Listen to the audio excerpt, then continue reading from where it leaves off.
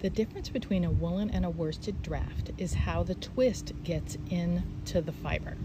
I'm still spinning from the fold here, and a, with a worsted draft, I draft pinching, not letting any twist through, and then I guide the twist into the fiber. No twist gets through my fingers. With a woolen draft, I open my fingers and the twist zips into the fiber by itself.